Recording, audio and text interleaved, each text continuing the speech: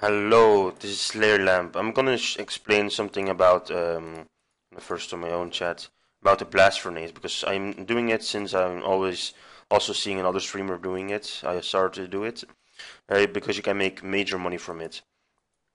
Uh, the first thing you have to do for blast furnace is start the quest, uh, the giant dwarf. You don't have to finish the quest, you just start the quest and you can enter Keldagrim. Um, after you enter the Keldagrim, you just can use the minigame teleport, the blast furnace. You go, you enter the clan chat automatic, and then you do the teleport, and you and you come here outside. I'm going to show it in a moment. Uh, if you do the blast furnace teleport, you will end up here somewhere. So I think it's here. So you just enter the door, go through it, go down, and here you are. Um, you can do it at level 1 already, at 1 smithing, you can uh, do it here, but it, I, re I recommend level 30, so you can do steel bars. Now the question is, why is Blast Furnace so good? Now the point of Blast Furnace is, you use 50% less coal for the bars you're gonna make. So, if you make like a mithril bar, you, you normally have to use uh, 4 coal ores, that's 800 GP. The Blast Furnace you only have to use 2 coal ores. So you save 400 GP, so that's why you make major profit here. Um, the other point is of um, training smithing here, you have to pay this guy 2500 GP for 10 minutes if you don't have 60 smithing. So if you lower than 60 smithing, you have to pay him 2500 GP in 10 for each 10 minutes or 15 minutes. I'm not even not sure about it. I think it's 10 minutes. However, I didn't. Uh, it might be 15. So you have to pay him uh, until you're 60 smithing, and after you're 70, uh, 60 smithing, you don't have to pay him anymore.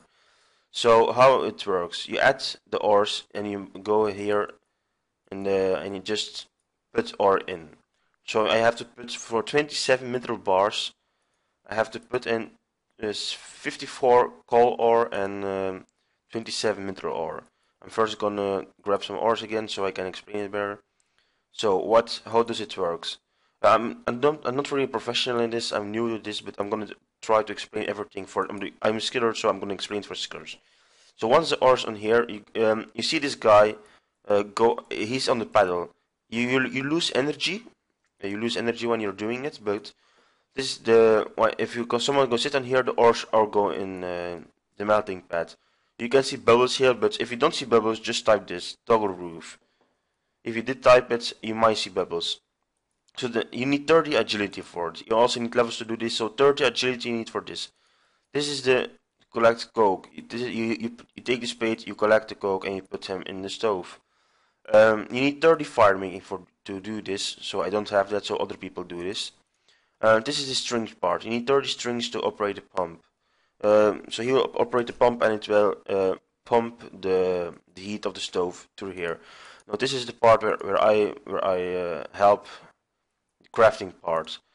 Um, the, this pipe and this pipe can break, so that's why I have a hammer in my inventory, so I can fix the pipes. The temperature has to be green, so the ores can smelt and it will become red here. So the ores will go here and you will see a red bar.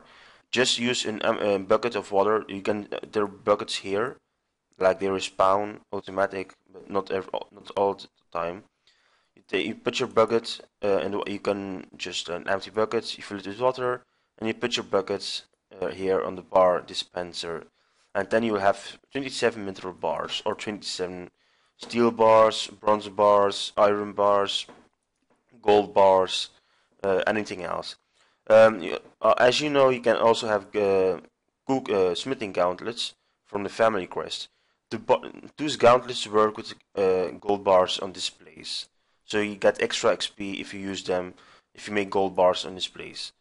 Um, so yeah, that's how it works. Um, so if you have any other questions, you can ask me.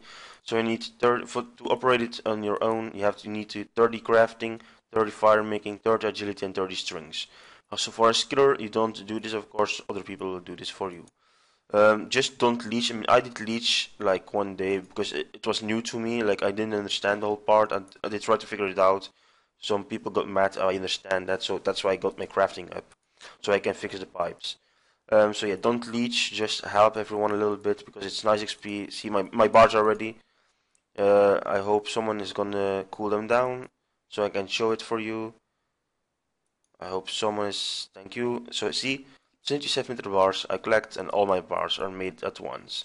I know I just add mithril ore again and add coal again. So you can put like up to a little more than 200 um, coal. So you can add 200 coal and then you just have to add, uh, you can add mithril or your iron or your um, addy ore, rune ore, it depends uh, what bars you're making.